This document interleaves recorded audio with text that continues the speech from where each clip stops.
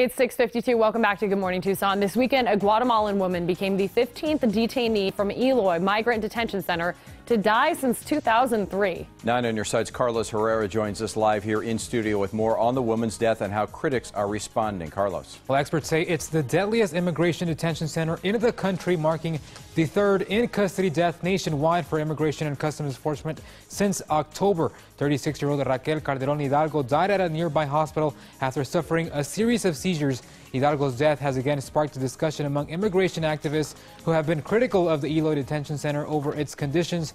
ICE has came out and said its facilities are thoroughly inspected to ensure that people are in a safe environment.